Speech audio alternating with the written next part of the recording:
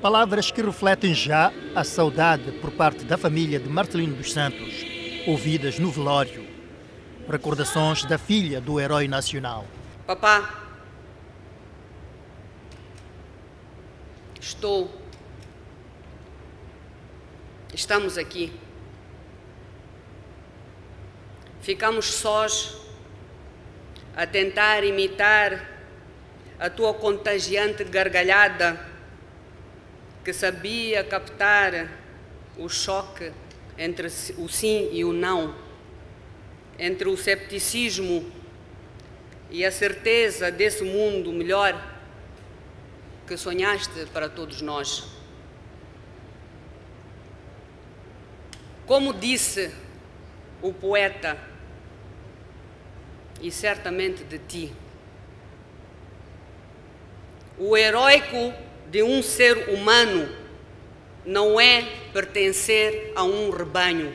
Os desportistas também estiveram presentes para prestar a última homenagem a Marcelino dos Santos, pelo contributo que deu para o crescimento do desporto moçambicano nas diferentes modalidades. É com tristeza e emoção que, em nome dos desportistas da República de Moçambique, tomamos palavra para endereçar as nossas mais sentidas condolências à família dos Santos, ao povo moçambicano e aos desportistas deste país, pelo desaparecimento físico de Marcelino dos Santos, que é para nós um pai, irmão, avó, amigo e líder.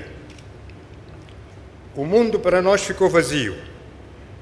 Perdemos o homem que dedicou a sua vida ao desporto, Marcelino dos Santos, dirigente abnegado cultor e defensor acérrimo de princípios e valores desportivos. Granjeou uma grande estima e admiração junto dos desportistas que viam nele um verdadeiro exemplo de luta, coragem e determinação.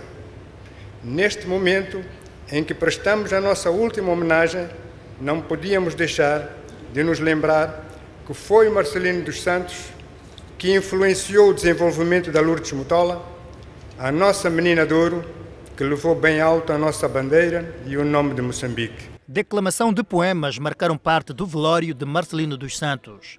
O escritor Miyakoto leu o poema em jeito de homenagem ao poeta. Gosto de viver.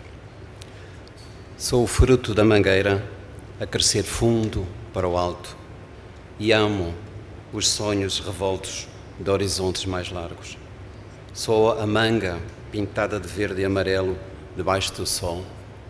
Sou um lago com brilho de lança, dessa lança que volteia no espaço, cercado da terra onde vivemos. Nos ramos dispersos do nosso destino, eu me levanto para viver, viver e voltar a viver, sem nunca ter que contar nem horas nem minutos. Depois, deixo a razão ondear, larga, sobre o mar da emoção.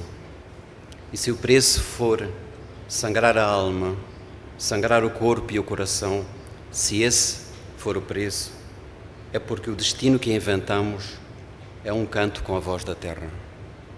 E as mãos que tombarem no seio úmido da, da nossa aurora saberão erguer uma nova mangueira e farão crescer os seus ramos altos e fortes. A escrita que fica no papel ficará igualmente marcada o poema na mente dos moçambicanos que conheceram os poemas de luta de Marcelino dos Santos, amante da cultura moçambicana.